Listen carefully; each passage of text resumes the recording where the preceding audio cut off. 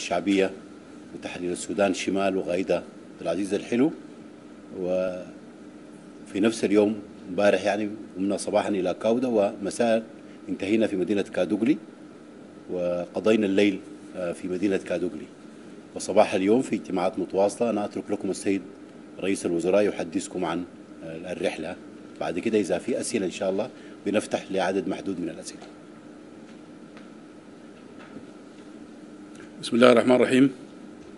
السلام عليكم ورحمة الله تعالى وبركاته.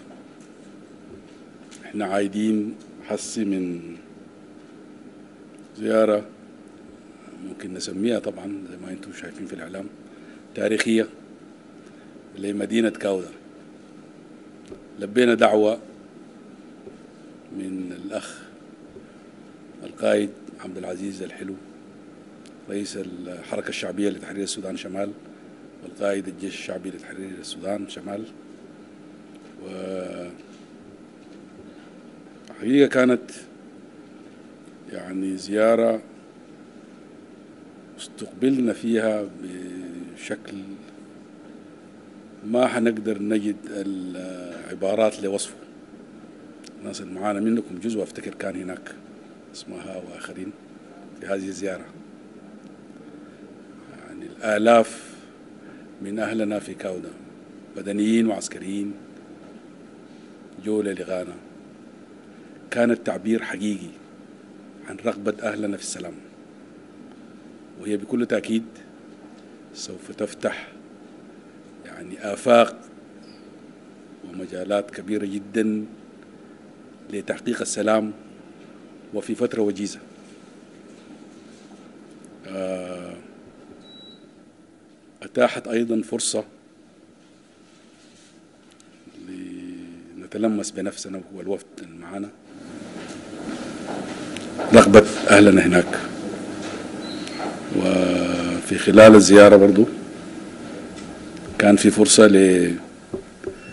لنقاش طويل وجاد ووضوح شديد في اجتماعات عامة ومغلقة. مع قيادة الحركة. لكن أنا راجع من هناك بفتكر إنه نحن نقترب من السلام بخطى واثقة وثابتة. أفتكر هي فرصة تاريخية لتحقيق هذا السلام. نسمع منكم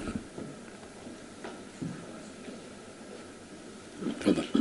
أحمد إسماعيل وكان سوداني العباد انك انت واحد مرافقين لهذه الزياره تلاحظ يعني حصلت الحركة الشعبية. كل هذا الزخم في شرط واحد هو اما علمانيه الدولة وإما حق تغيير المصير. سواء كان في الغايه بتاع هذا الكيلو أو حتى الجماهير التي حضرت هذا الجنائب هذا الحج الكبير. فما تعليقكم هذا؟ نسمع. أحمد العربي مراسل الغد. علمنا انه من الزيارة كان في اجتماع خاص بين رئيس الوزراء ورئيس الحركة الشعبية عبد العزيز الحلو. أبرز ما دار داخل هذا الاجتماع وعلاقته أيضا بمفاوضات السلام الجاريه. يأتي أحمد العربي لا عارف من يأتي محلا قناة الغد الغد. أي سؤال ثاني؟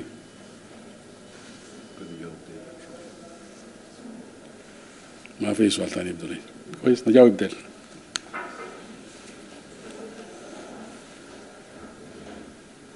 علمانية الدولة وحق تقرير المصير.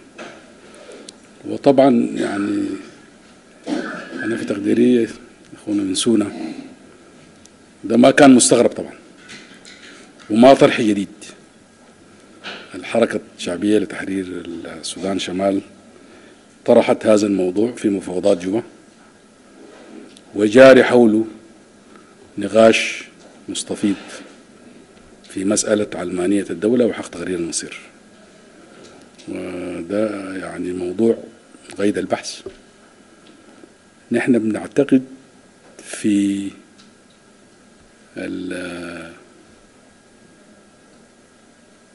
مسألة بناء السلام ما عندنا موضوع ما حنناقشه. كل الحركات حركات الكفاح المسلح اللي بتفاوض حسي في جوبا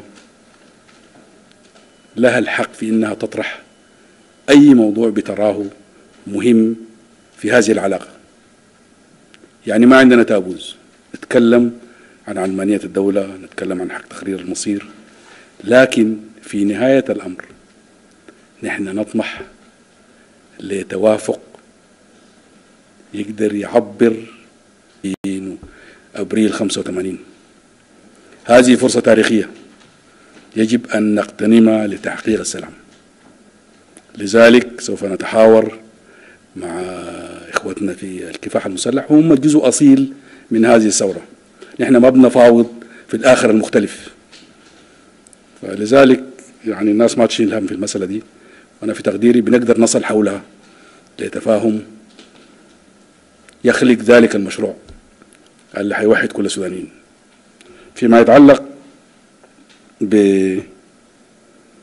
بالاجتماع الخاص وأبرز ما دار فيه هو اجتماع أيضا يعني تميز بالشفافية والوضوح. تناقشنا في مسألة بناء السلام كشيء أساسي ورؤية الحكومة الانتقالية في هذه المسألة ورؤية قيادة الحركة الشعبية فيها. اتفقنا إنه السلام والتفاوض في هذه المرة يجب أن يعالج جذور الأزمة. ما ممكن نجيب في لمس القشور. يجب أن نقوص في جذور هذه الأزمة.